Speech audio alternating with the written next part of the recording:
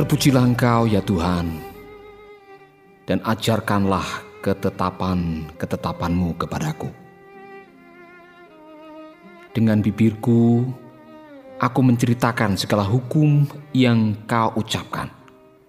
Atas petunjuk peringatan-peringatanmu, aku bergembira, seperti atas segala harta. Aku hendak merenungkan titah-titahmu dan mengamat-amati jalan-jalanmu. Aku akan bergemar dalam ketetapan-ketetapanmu.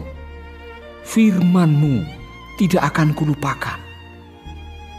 Lakukanlah kebajikan kepada hambamu ini, supaya aku hidup dan aku hendak berpegang pada firmanmu.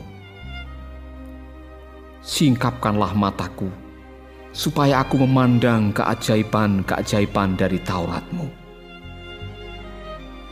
Aku ini orang asing di dunia. Janganlah sembunyikan perintah-perintahmu terhadap aku. Hancur jiwaku karena rindu kepada hukum-hukummu setiap waktu. Engkau menghardik orang-orang yang kurang ajar. Terkutuklah orang yang menyimpang dari perintah-perintahmu.